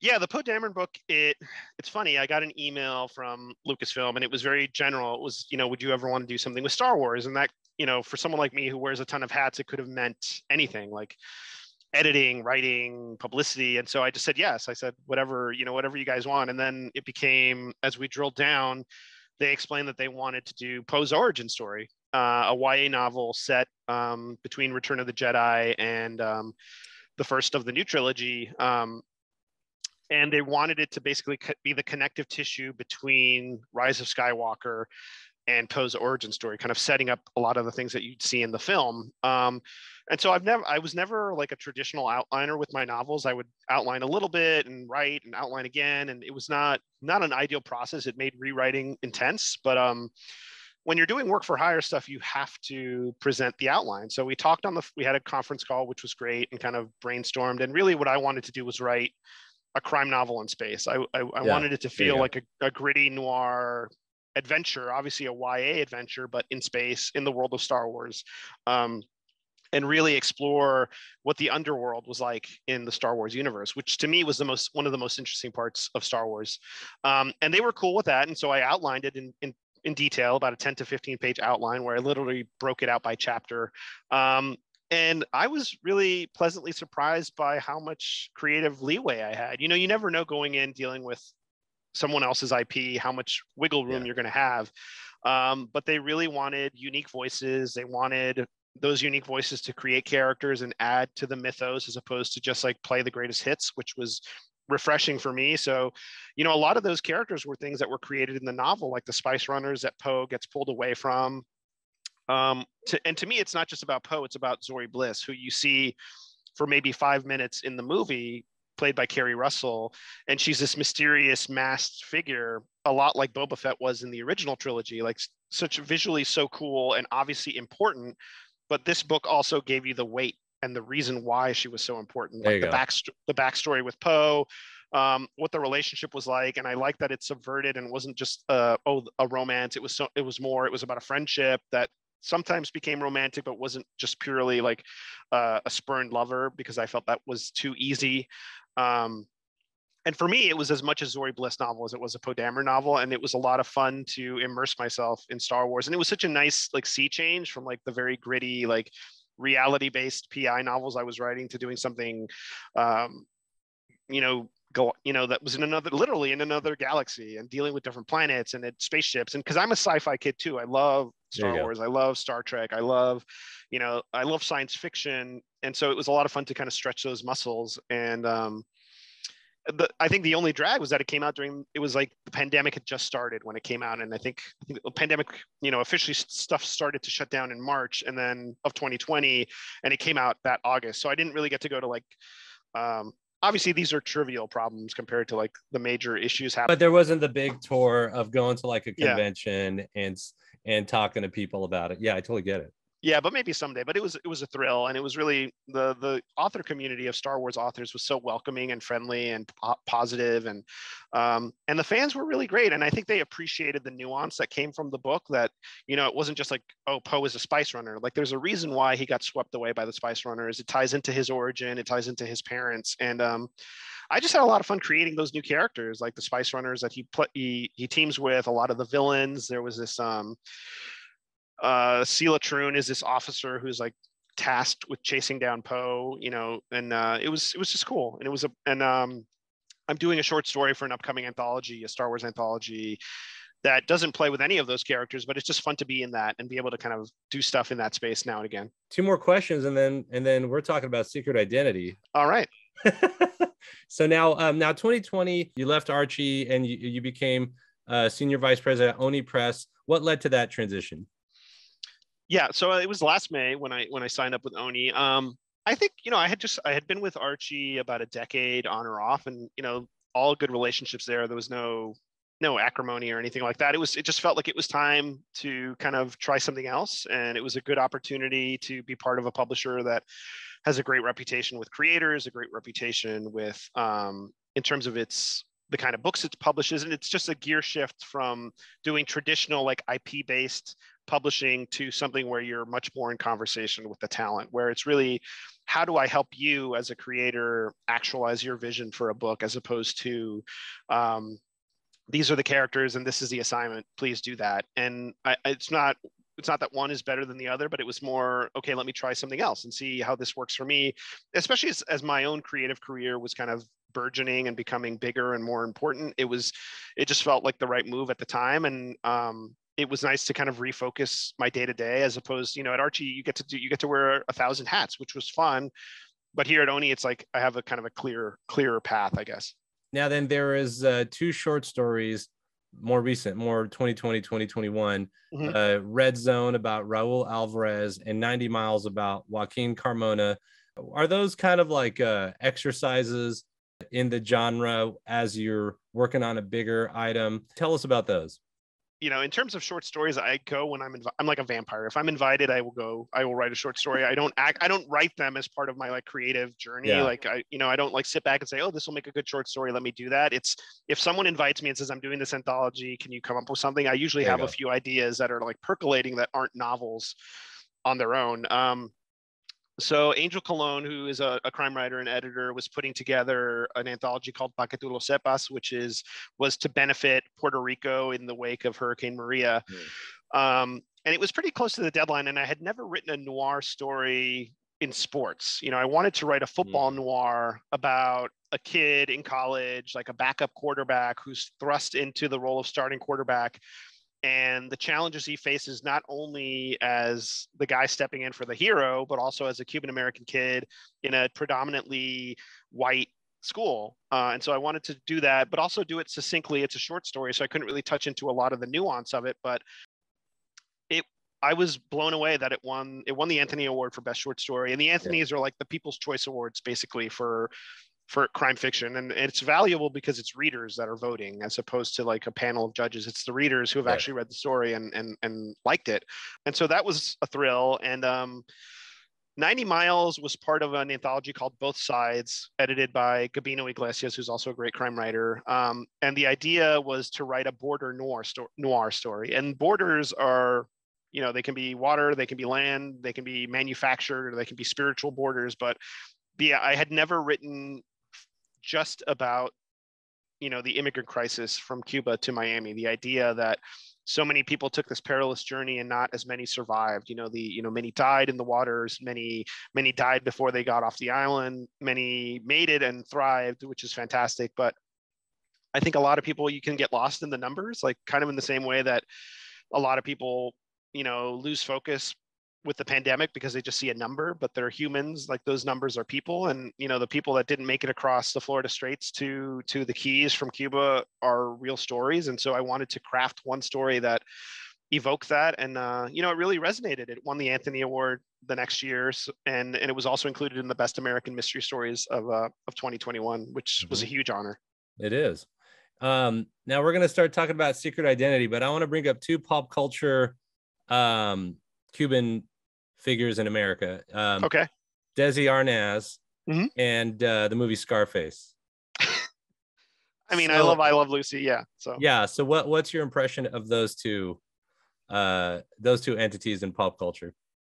Um, I watched Scarface a lot as a kid. Uh, probably not ideal, but it, even as a kid, I was like, that, that does not, yeah, that does not look like the Miami I know, even the Miami of when I was younger. But I think it's it's an interesting movie. I love Brian De Palma. I think he has made some great films. I I, I am not going to rewatch it because I don't think it gets better every time I watch. You know, it's just like Pacino is like chewing up the scenery. It's got some great performances. I think Michelle Pfeiffer is amazing in that movie, and uh, you know Steven Bauer. It's it's not the greatest crime film, but it's entertaining in its audacity. And I guess like how yeah, there you, go. you, know in your face it is. Um, I can admire it for that, but it's definitely not on par with something like Goodfellas or The Godfather or that kind of like um, epic saga. Like it's it's it's a gangster movie. It's a fun gangster movie. Like you can't if you take it too seriously, you're going to be disappointed. Um, and Desi Arnaz is amazing. Like you know, I, I grew up on I Love Lucy as a kid, just watching the black and white reruns, and it was just so cool to see you know, my grandparents were like, "Oh, he's Cuban," and that was so amazing to see. Like yeah. someone like us, like even back then, was was a force. And um, yeah, so yeah, no, that's cool. He did a lot of production uh, on that mm-hmm. show too, so he was a bigger deal than I think a lot of people even knew, even though yeah. he already was a big deal. So let's talk about Secret Identity. It has released this month. Uh, so it's about Carmen Valdez. She's a writer from Miami who lives in New York very much in in a similar pattern as you also Mhm. um, being cuban from from miami living in new york and working in, in in the publishing world what i love is the scenery of of the way you describe new york but it's also new york of 1975 so tell us what went into that and and at why 1975 why did you write this story Yeah, 19 that's a great question. 1975 to me is a point in the comic book industry's history that is in stark contrast to today. You know, today as you know or as anyone listening probably knows like comics are everywhere. Like the source material is what it is, but the awareness of comics is insanely high or at least the awareness of the characters. So you have stuff like you know, a Green Arrow TV show that's been running forever, or a Peacemaker TV show, or Ant Man movie, or Guardians of the Galaxy, like IP that maybe when you and I were kids were interesting, but were not like front list or A list Yeah. characters. it, it was it was more of a subculture back then yeah, exactly. And so in 1975 too, you're not really in the full swing of the secondary market hasn't started. So you have maybe some comic shops, but they're not as prevalent. The secondary market and conventions aren't as big a thing. Like Phil Seuling is starting his shows. Um, you're starting to see people buy and, and deal in back issues, but it hadn't become a part of the industry as a default setting. You know, like DC would later like create comics just for the direct market, you know, and Marvel would do the same, like, you know, Yeah. Dazzler or New Titans. And and that stuff wasn't happening in 75 yeah yeah, it hadn't started in 75. And I don't think the editorial infrastructure was in place to kind of treat these characters as IP in the sense Yeah. of, well, you can't do that to Spider Man because he's going to be a movie, or you can't have that happen to Robin because we're going to have a TV show. You know, even Yeah. though there had been a Batman show and there had been some stuff, it wasn't as prevalent or as, you know, uh, as big a part. So I really wanted to show an industry Right. that not only didn't have the same structure, but also was kind of at a low point in terms of success. Like the newsstand wasn't really thriving. I think you, you know, you had stuff like the DC implosion or things that were, you know, like the newsstand, you have to print as as having known known the newsstand because of my time at Archie, like you have to overprint to sell a fraction basically. You have That's to print right. like yeah, there, there's a print run, and then there, there's a sell through rate, and that Yeah. sell through rate determines the success of that of that print run. Yeah, Yeah, and, and but then at the same time, so while the business itself might not be doing as well, and while maybe onlookers think, oh well, comics are dying, creatively, it's probably one of the more fertile times for traditional company-owned characters because unlike now, you don't have the they didn't have the option of going to Image or going to Oni or going to Dark Horse and creating their own IP and selling it and making it their own thing. So they kind of the creators had to pour themselves into these buckets like these existing characters and make them their own and really give them quirks and personality traits that were unique to the time and it wasn't like editors would stop them because there was other stuff happening other exploitation happening it was it was pre-shooter so when i think when shooter Yeah. came in at marvel he really laid down the law and kind of you know teed up the company to become what it became yeah, yeah. He he's the one that made it IP aware, really. Yeah, and the same thing was happening at DC, but I think there was this this period in the mid 70s where it was a little bit like the Wild West in terms of what was happening was. with the characters. It was pretty trippy stuff. And Yeah, I remember early on before I started putting I was in the research phase of the book. I got to Sean Howe was very kind. Sean Howe, the author of Marvel the Untold Story, very kindly gave me his time and I said, you know, it's I was still trying to figure out when to set the book. I knew what the mystery was, but I was trying to figure out when to do it. And I said, it seems like you're really keen on the 70s. And he basically confirmed what I thought that it was just such a excuse me, such a vibrant period. And so and th- there there's a certain darkness of it. Like there's a lot of shadows that every people could hide in and still make comics. Um, exactly. and and that's Yeah. what's interesting about and that's how the 80s was not that way um there there was no shadow there was a lot of oversight i think in 75 i think it was like marv wolfman Mhm. um and and len wein as uh, uh editors editors in chief and there there was this uh whole there's this whole thing with i remember i talked to marv wolfman he was like we were Mhm. just trying to like figure out there were so many books at that point because the new distribution through Curtis circulation, way more books than what one one editor in chief could really even look, Yeah. look at every day. yeah there was no every you know shooter always said oh i read every book but I, I think back then there was just not only were marvin len writing a ton of stuff they had Yeah. to manage the whole process so you saw Yeah. a lot of little fiefdoms like writer Yes. editors like right. who who had control of their own little little yes. worlds and, it was that very interesting. unregulated and very it was pure in a way as Yeah. far as a creator intent standpoint um, but but maybe not uniform as far as a corporate house style of writing styles.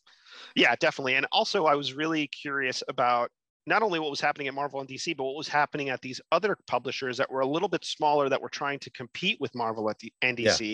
Yeah. Yeah. Places like Atlas, Seaboard, yeah. you know, Harvey to some degree, obviously with the kids comics, um, you know, Charlton, Quality, the list goes on. And so I was I was really fascinated by the idea of setting the book not only in 1975, but not legally I couldn't have said it at Marvel or DC. I guess I yeah. could have. It would have just taken a lot more nuance than I had the patience right, for. Right. Um, so I wanted to evoke the era, and I wanted to give the reader a sense of verisimilitude that you know if you you know you could imagine that this did happen in the same way that Chabon did it so well with Cavalier and Clay, like. He weaves through history, and you think, well, maybe there could have been the escapist, and maybe, yeah, you know, Cavalier and Clay did exist, and um, those are my favorite kind of historical fiction books.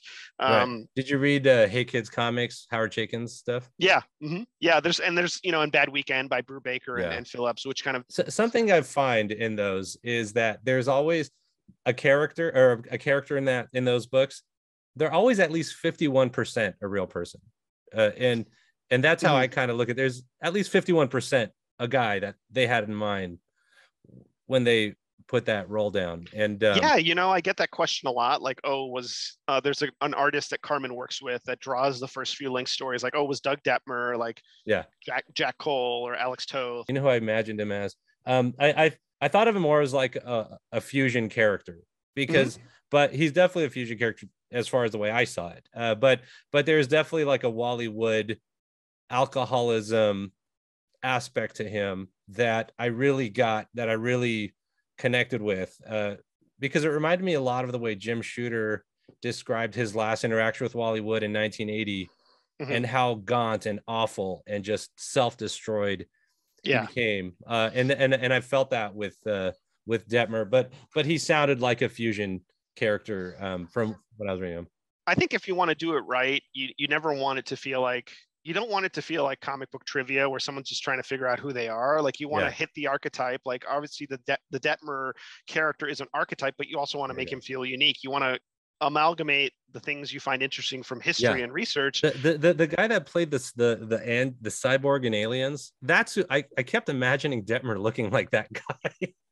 oh, I could see that. Yeah, I uh yeah I uh, cast him as kind of like Anthony Edwards from ER. There you go. Yeah, yeah, like an older kind of beat up version of that. Yeah, yeah. just kind of worn out and um but yeah, a lot of the characters. So the big picture on Secret Identity, it tells the story of Carmen Valdez, who's a Cuban American woman who comes from Miami to New York to pursue her dream in 1975 of writing comics and she um she gets a gig as a secretary to the publisher editor in chief at this company called Triumph. And Triumph, yeah. like I said, is very much like a third rate comic publisher. Triumph Comics, the editor uh, Carlisle. Jeffrey Carlisle, yeah. yeah. And he's also another example of like an archetypical like company head in that era, but he's not, he's a little bit of Stan. To me, he felt like a mixture of um, Chip Goodman and Stanley like combined is how I kind of kept thinking of him. Yeah. Yeah, with a little bit of uh Jim Warren, I think. There you go. Yeah, there you go. Mm-hmm. Yeah, but definitely not and and some new stuff, some other stuff that I added. Right obviously because you want to make the characters your own. So she gets this job as a, as a secretary for to Carlisle, and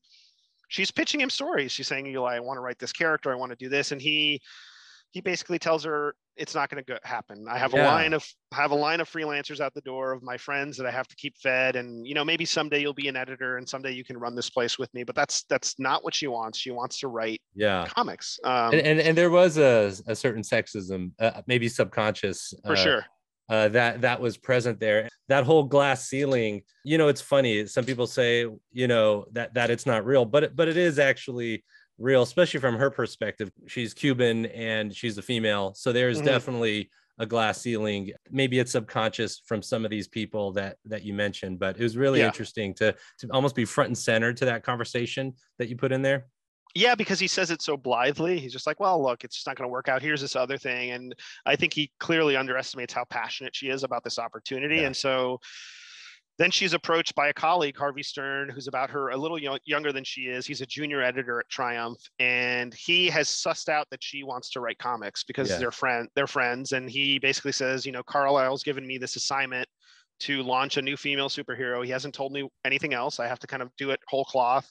Do you want to co-write it with me? But it has to be anonymous because you know, let, let, let's see how it goes. And then eventually you'll get your credit. But for now, let's do it anonymously just to get it out the door because it's an insane deadline. And so, you know, they launched this character called the Legendary Lynx, drawn by Doug Detmer, who, like we talked about, is this this beloved but also complicated artist, like very yeah, and and he's burned a lot of bridges with publishers, and yeah, has a bad temperament, and uh, but super talented.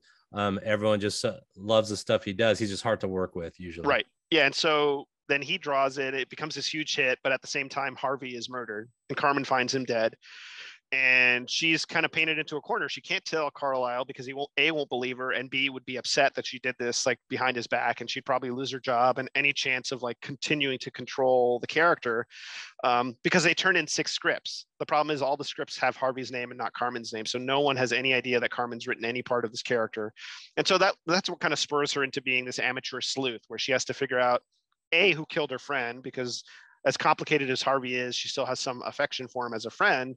And more, you know, and part of it too is like, how can she reclaim this character, the Lynx that, you know, is so tied into her, her, like it's such a piece of her. Like there's a yeah. scene early on that I love.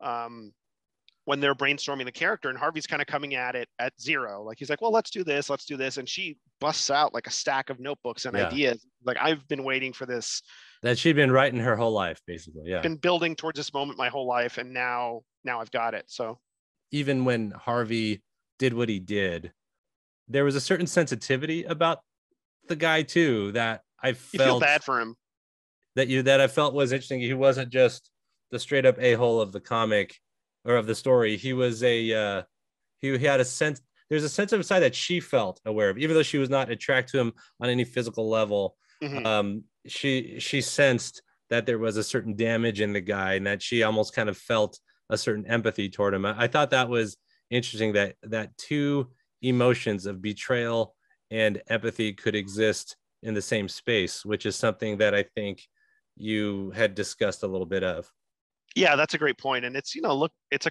in, in these kind of stories you want to show the shades of gray and so obviously she's mad she's betrayed and frustrated that someone she trusted basically took credit for her work and then you know she, he couldn't control that he was killed but you know now she has no control over her ideas and at the same time she feels bad not just because he's murdered but because she knows he's got a complicated life you know he yeah. he's opportun- opportunistic but also caring he's he's eager to climb the ladder but he's also empathetic to her and her plight. And so yeah he's not a clear-cut villain. I don't think there is a clear-cut villain in the story. I mean there's a bad guy and there's a murderer and there's a crime but right. it's much more a character study i think than a pure like who done it yeah right. Um within the first couple chapters that jeffrey carlisle wanted to one day write the great american novel and i'm like okay i know that yeah. line. Yeah. Yeah, yeah and i yeah. thought that was just so cool because it really it starts to already people who know about that it kind of pulls them in already. Mm. um and then you start to really pay attention. Maynard. Oh yeah. Maynard um i like that the whole bad jim morrison impersonator comment. Um yeah. and then cool how, vibes. Yeah yeah. And he, he, how he he takes acid before writing his his comics of avatar. And uh uh, you know, it's funny because I'm just thinking of Jim Starlin's Warlock and things like that. You know, yeah.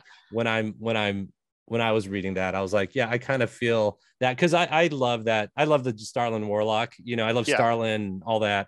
Mm-hmm. I think you and I like a lot of the same comics, but um, but I I, I definitely related to a lot of these uh, uh characters from the get go that I, I, would pay attention whenever they were brought up. Like, what's going on with Maynard these days? Yeah, how's he doing? What's up with Maynard, man? Let's get more Maynard in here. Yeah, we need more know? Maynard. I, I mean, I it's I wanted to create these fictional characters and people that would then make me want to read those comics. Like, I want to read Avatar now. Yeah, I want to like. I want to read, read Avatar. Yeah, yeah. I want to. I want to see how you know, it, it felt to me like a blend of like, yeah, like Warlock, but also a little bit of Omega the Unknown. Like, yeah. And you, you have go. to imagine that if you're working on one of those like comics at not just Marvel and DC that you have even less editorial oversight. Like, so he was doing whatever the hell he wanted. He was like just dropping acid and then writing comic scripts and sending them in. And Carlisle is torn because he hates it as a taste. The taste, his taste yeah. is not that, but right. he also sees that it's their best-selling title, so he can't like fire the guy. So he's he's he's also profit-minded. Um, yes. So that yes. was a lot of fun to kind of create this like lost chapter of comic book history. I, I was reading this Starlin um, autobiography it's a pictured pictorial autobiography. It's really nice. But oh, um, cool. But uh, yeah, he there was a mention that when he was doing Invincible Iron Man, not to say it was the best their best selling title, it wasn't, but there was this note that like Stanley just did not like what he was Yeah. doing there, and he Yeah. just want even though like people like uh, me or you, you know, were like this is cool stuff, you know, Right. um, but yeah, there was this thing where editorial, the older editorial guys don't always get what the new guys want or the good new people want to want to read. Berger was an interesting character because I almost got this sense like it was like a Dick Giordano type of guy, but it wasn't. It was definitely his own character, and and I started getting a sense that he was his own character deeper into it. But in the beginning, I got a Dick Giordano vibe from the guy. Um, Yeah, I could see that. I think I wanted um I wanted to have a comic book insider that could kind of speak to the industry a little bit who Yeah. had come to Triumph with high hopes and was a little broken by the process. Like there's one line where he's like, you know, I was hired to do my job and my boss's job. Like I think a lot of people can sometimes relate to that that idea Oh, that yeah. you're you're doing your work but also you kind of have to make your boss look good. And so he was doing the part of the of the editor in chief's job that Carlisle just didn't want to be bothered with, like you know, um, and so it was fun to have him there, and also to craft a friendship between him and Carmen that wasn't just like mentor mentee, like they are definitely equals, and they come together and talk about comics in a fun way, and and that scene, you'll appreciate this. Like a big thing about the book for me was creating the sense of atmosphere of working in comics and verisimilitude like if you're reading it and like you or i were a big big comics people you could read it and be like oh cool there's a nod to this or there's an Yeah. easter egg there and if you're but if you're a casual reader maybe you're you're making notes and thinking oh i, I need to read steve gerber or i need to read like yeah, uh, jim starlin totally. I try. like that, you, tr- you know, they're being Wikipedia during yeah while I they're hope being so, yeah. yeah, but one of the things for me is I didn't want to default into like Wikipediaing these people. Like I didn't want it to be like, well, Carmen, Jim Starlin was born in so and so, and you know, uh, Walt Mhm. Simonson did yeah, this. because Like, it's a it's a fictional narrative. You shouldn't. Yeah, yeah. But the one time I did take a little bit of a detour, and I think it worked, is when Berger, when Carmen is in Berger's office the first time, and they're talking, and he's handing, he hands her comics every now and again as, not as an education, but more as like a book trade. Like these are things that I liked, and I think you'll like them too, as like a comic fan. And he hands her the first Denny O'Neil and Neal Adams Batman comic. Yeah. And yeah. obviously obviously we're playing the hits there like it's such a iconic story but I, I went into a little more detail there talking about how important that run was or Yeah. not really and, ha- and know, how we- it made Batman dark again, something like that, yeah right? yeah it returned him to his roots as like Yes, the stark yeah. avenger and so that was fun um i mean the, i had a blast writing the book it was really like I, I had no complaints during the journey as hard as writing a novel is you know you get lost in the in the weeds sometimes but Yeah. um it was so fun not just from comics but from new york from a music perspective it was really fun And um, there was a- some some references which I found uh, interesting. The Kurtzberg Avenue, Lieber Lane, right, would be kind of thrown in there, and I, and I almost, although they were yeah names of Jack Kirby and Stan Lee, um, maybe I'm reading into it, but but maybe they were also references within the context of the conversation, because you mentioned it overtly. I think later down the road, of the the the creator not getting credit for contributing to writing a story and and maybe those names were mentioned as a um, insider kind of hint toward the concept um, because later you did write that phrase that uh, jack kirby didn't get a lot of writer credit uh, for those stories. Yeah, I think, you know, look, the tragedy here is that when you read Secret Identity, you're not feeling like Carmen is the sole person ever wronged by the comic book industry in terms of getting Yeah. credit or right or controlling their IP or creation. So, you know, there are a lot of, you know, I, I drew inspiration from a lot of real stories, like, and obviously Kirby's story, um, Bill Finger's story was hugely influential in this idea of like creating an iconic character in secret. Like Bill Finger, like that's, that saga has been uh, chronicled in many different ways. But um, yeah, as for like Lieber and Kurtzberg, you know, it, I think that was more just like a fun nod, but you, you probably caught the echo that was subconscious for me while writing it. Now, it's not just the comics, although another pop culture reference I want to bring up. I love Mm-hmm. that you mentioned that there the, the 1975 New York convention of comic art and Walter Gibson and Jack Kirby on a panel together.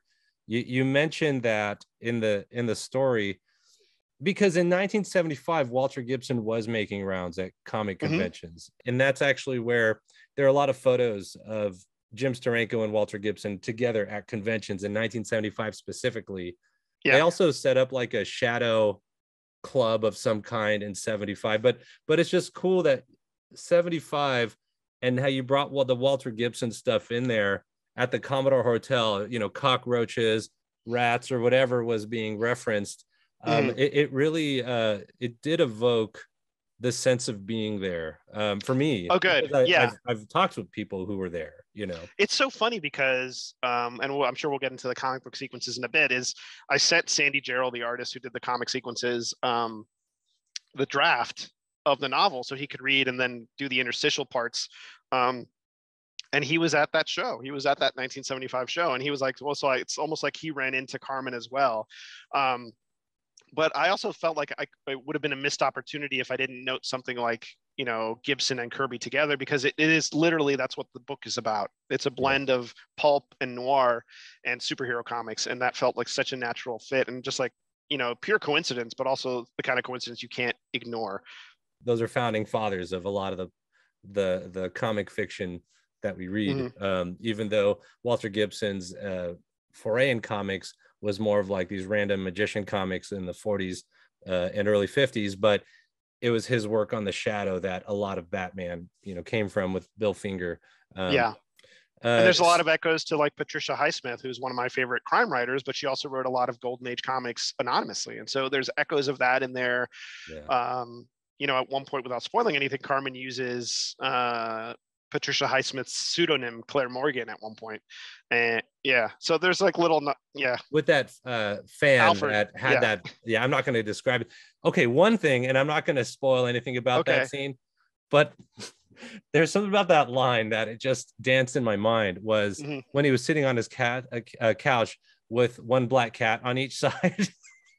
It's I was like, what? I mean, I'm like imagining like this vampire, you know, uh, yeah, guy that's uh, has this weird ominous knowledge and um and something about that sentence just uh i thought it was genius uh, it really Okay. kind of uh, established what a what a weird guy that is uh yeah. I mean, and, and every industry has people like that, like just people that are so passionate about the minutia of stuff that is amazing to me. Like it's, it's, yeah. He, I, and that's the thing with all these characters is that I loved writing them. Is that you want to follow even the supporting characters, like someone like Marion, who was supposed to just show up in the volleyball game. Like when I wrote her, she was just going to be this mysterious, like femme fatale type that shows up in the volleyball game and never to be seen again.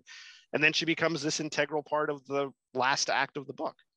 yeah that's right yeah um now um there's also flashbacks in it which which i found interesting Mhm. um and uh you know it's not easy to wrap the modern moment into a flashback in novel form Mhm. because uh in a movie you clearly know you know that the scenery just changed you're using words to establish um the character processing current information while remembering past information was that Right. tricky for you to um to kind of nuance that Yeah, I mean, it's challenging because you don't want it to just be a chapter break and like, hey, now we're in flashback land and this Yeah. is what happened. I, I like to weave it into the present. So there's one scene I think when Carmen is, you know, she's had a few drinks and she's feeling dizzy and delirious and she's having flashbacks to Miami and her past relationship. And and I wanted to weave it in so she almost becomes like an unreliable narrator at some point. You're just like wondering like what is going through her mind and is she okay? Like she's buttoned up and really put together for most of the book and then she just kind of breaks at that point. and that, i thought that was really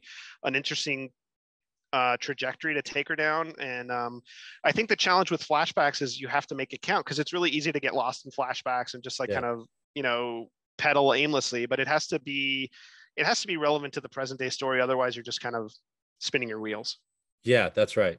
And I think a lot writing a lot of long form stuff, you almost have to sacrifice some extraneous things and delete that and keep it pertinent to keep everyone on track. So Yeah, it's interesting because like init- and this is a testament to my editor Zack Wagman, who was very smart about um, keeping it focused and keeping it in Carmen's head. Is that in addition to the comic book interludes, we had like historical interludes to the comic press. So it op- the book initially opened up on an almost academic paper from something like the Comics Journal, talking about like you know the sad story of Triumph Comics, and then like a wizard interview with Jeffrey Carlisle in the late '90s, and then um, there was a scene of Carmen at a comic convention at the end where she, you know, there was just things that didn't make the cut.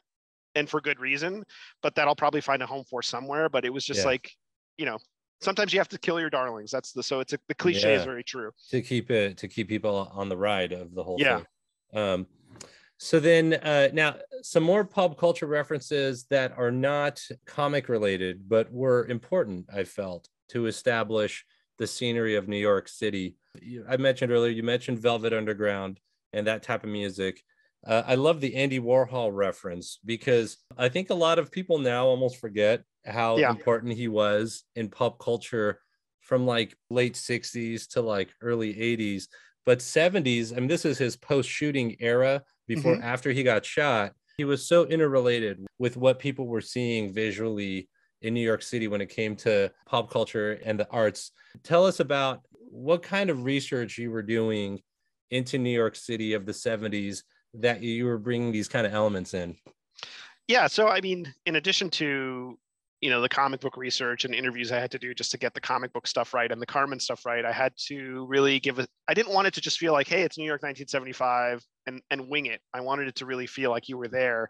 Um, there's a great book called Love Is a Building on Fire by Will Hermes, and it chronicles like his youth in the 70s in New York and the music scene, but it's not just the CBGB stuff. It's not just like Max's Kansas City, which is all like that to me is great, but it's also like Latin music and jazz and uh, avant-garde music. I also read a really great, um, I'm blanking on the author, uh, a great Lou Reed biography that really focused on that era.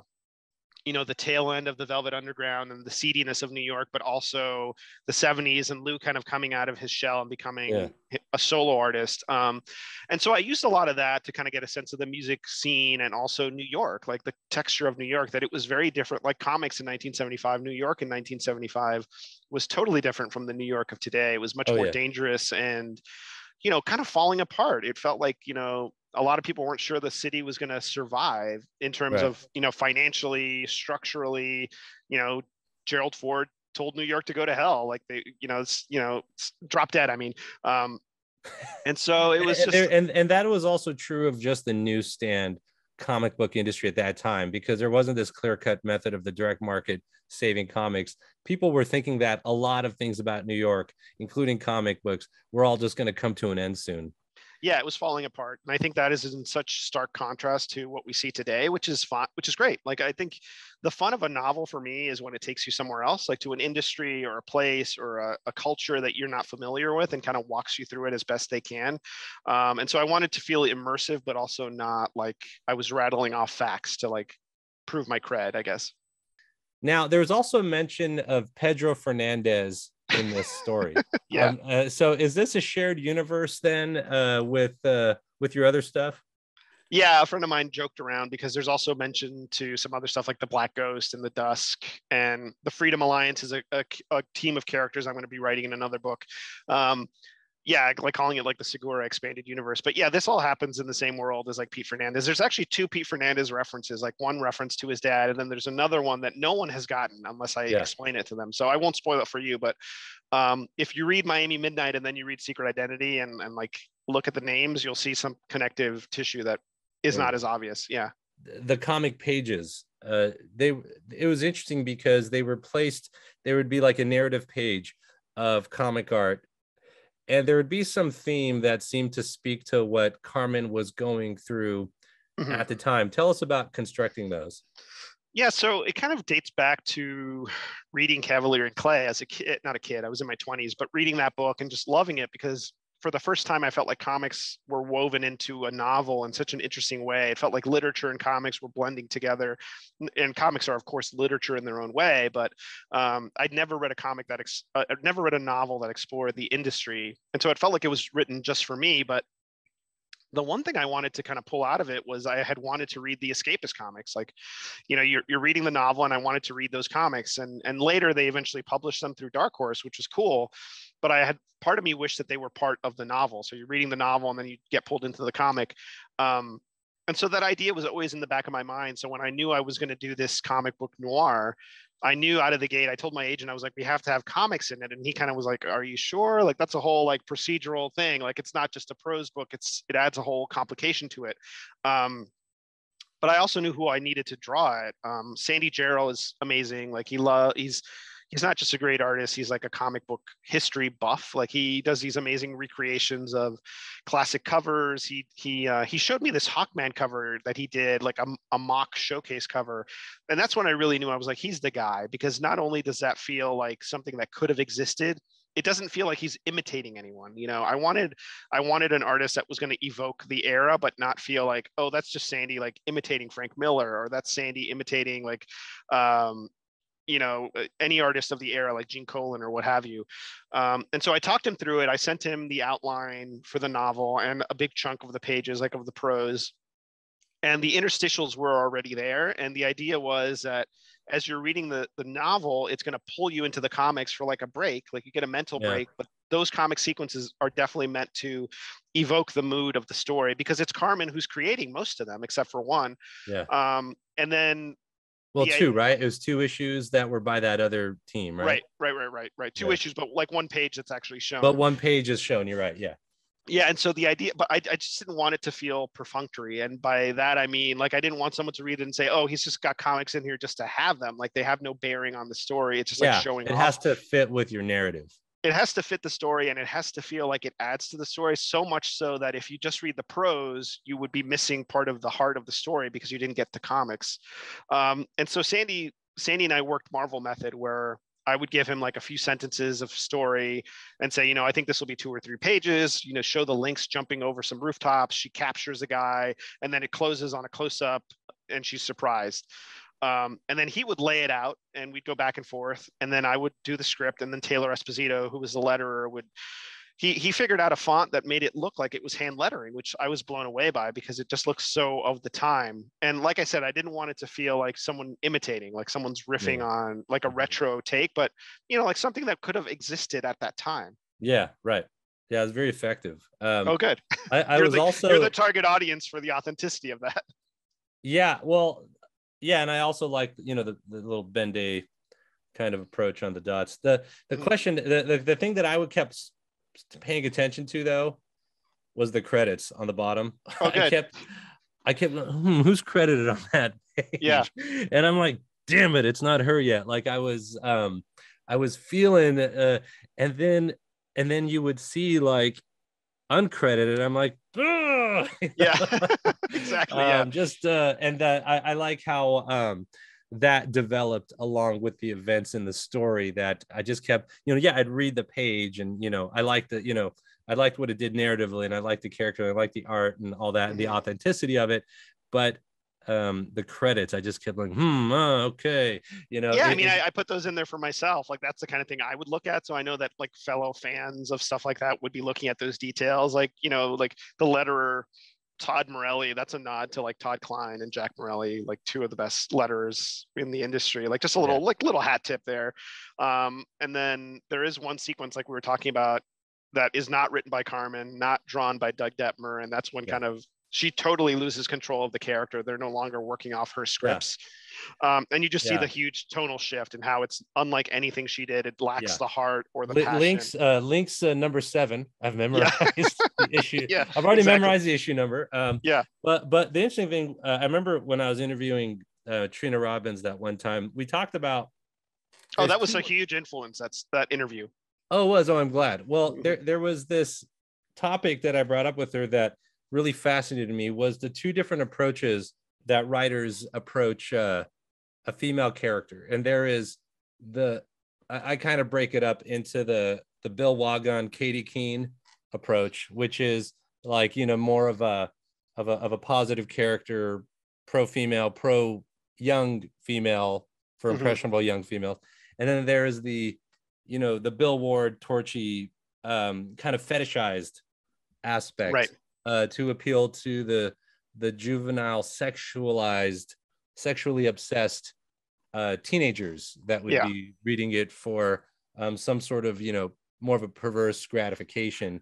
Right. and, and i'm not judging um, one you know this versus that. I'm not saying but i would say though that that's that was an interesting example of seeing that in your book. It, it started out as uh, kind of like the katy keene aspect and then it mm-hmm. becomes this torchy thing for like two issues uh, because the creators that weren't intended to write that character then kind of took over right uh, that character and and i thought that was really effectively demonstrated um it, it almost feels like a lot of people who don't know about comics they're going to learn these funny themes uh as as they go through your book i almost feel like you're translating a lot of the comic stuff to like Yeah. a mainstream audience through this uh mystery novel and, and i thought that is just so uh i think it's like important right? It gives people this sense of of the industry in a way that's uh, entertaining and fun although that's not the primary objective is to tell a good story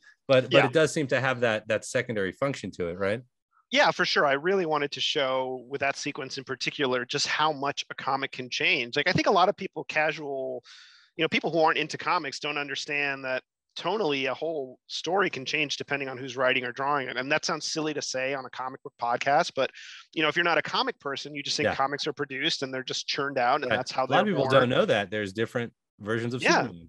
Yeah. And so, like something like the Lynx, that was a passion project for Carmen, a passion project for Detmer, suddenly gets handed to two hacks, for lack of a better term. Yeah, yeah. Are, are cranking it out, and obviously are going for the lowest common denominator. It's Yeah. a big shift. It's a total shift in the content and the intent. Right. And so, I wanted to show that and really kind of get to the gut of what sometimes happens with comics. You know, I got to send the book to Trina Robbins, and I, I obviously was very indebted to her work. I'm looking at some of her books on my shelf now yeah but it was that interview you guys did that really added a lot of texture to the brainstorming for the book and you know the podcast is thanked in, in the acknowledgments but there were so many interviews that you know it's not like you guys were doing a lot of the work for me but you spoke to a lot of people that i wanted to speak to already Oh, cool. and so i got it got a lot of texture from like your what, what, conversations what were some of the other uh interviews you would say were some sort of influence in this Uh, the Trina Robbins one, obviously, the long one you did with Paul Levitz. I, I mean, I've known Paul for a long time, and I consider him a good friend. And um, but that really gave me a kind of a 101 on his career that I didn't really know off the top of my head. Um, you did spotlights on some of the smaller publishers like Atlas Seaboard, which I found fascinating, and cool. uh, and I think there was one on on Harvey where you on Yeah. Harvey Comics where where it wasn't so much about the content, but like this idea of a you know C level or B level publisher and how they existed during that time Yeah. um, that I found really fascinating. Yeah and uh and how they were so incompatible with the um direct market of the 80s Yeah, that it just kind of fell apart. Yeah, yeah at that point it's not the newsstand anymore so it's not about a random kid walking by it's about 13 year old boys that want violence and sex uh, Yeah. at their comic shops and that exactly. They, they, they don't want the casual like cartoon stuff. yeah that's right um uh, Warren magazine seemed to fall apart for a similar reason um Yeah, I mean, I, I really just the podcast became like this this assistant not you know like you guys did so much research talking to so many Yeah. key figures in the industry that it was really Yeah. helpful to like tap into that for sure That's that's that's really great. Uh, uh, uh, much appreciated. Thank you Yeah, so of course. for for mentioning that, mentioning uh, uh, mentioning us in the uh, in your acknowledgement acknowledgments. That was very kind. for sure Um, another couple of historical precedents to the concept of another creator coming in because you even mentioned into that sales had like spiked up actually with a new yeah um, when Romita took over for Ditko, that's another example of of maybe the intent of the auteur being changed, but then the sales responded positively to it. Although I love that, and that's not fetishized, but it's different. Um, it's totally yeah just so totally different from what totally Ditko was doing yeah, and then another one was Scorpion that uh, Chaykin made for Atlas. How in like the first one or two issues, it was you know his Dominic Fortune character Mhm. but then when he left the book because martin goodman didn't like his stuff it becomes this other scorpion which is like this bouncy guy in tights. And and so such a lame uh, uh Yeah. character. And i almost kind of felt like that happened with the lethal lynx in that sense. So there was the fetishized but then there was also like making it more like a bubblegummy version of of the original uh, creator yeah and it's such a you know stuff like that is so common in comics where the tone is is is so tied to the creator and if a creator is changed like you see it also when like frank miller becomes writer and artist like when he's the artist Yeah. with roger mckenzie Yeah. scripting it still feels like a traditional superhero comic though the art is different but then when he takes over as writer the whole vibe is different and so i wanted to sh- definitely show how how major a change that could be Yeah, and you did. Um, wonderful. And I know we don't want we're not going to spoil the end uh for anybody. So I think I read like 80% of it in a day just to like f- figure out who and what happened, um, mm-hmm. which uh, I thought was uh, really interesting. You, you, you touched upon the importance of IP and mm-hmm. characters as some sort of uh, bankable product at some point down the line, uh, which I thought was uh, also an interesting take because I think in the mid 70s, although they knew that, sort of, yeah, I, I don't think they were really, uh, like you said, they weren't really in the cartoons as big of a deal and as in movies. And so it, I know that Stan Lee, he wanted to push comics into the magazines. And then he was the one that was really going to LA and trying to make these things into TV shows. Um, so in a sense, he knew, although uh, Kirby, I think, created more stuff than he did, but he was important in transferring that material to other me uh, to other media. So, yeah, totally. I think, um, uh, yeah, without spoiling anything, that's obvious. That's a you know the book is in many ways like a meta look at intellectual property and what happens when you lose control and what the value of a character is and in 1975 i don't think as many people obviously today it's all about like what is the value of this ip like what can it be elsewhere uh, whereas back then in comics it was a little more intangible so it's a yeah i don't want to give away the end yeah yeah exactly yeah, exactly yeah. Uh, maybe in five years we'll give away the end uh, yeah we can have a post-mortem Alex, uh, any any further comments you want to make about secret identity that people should know about?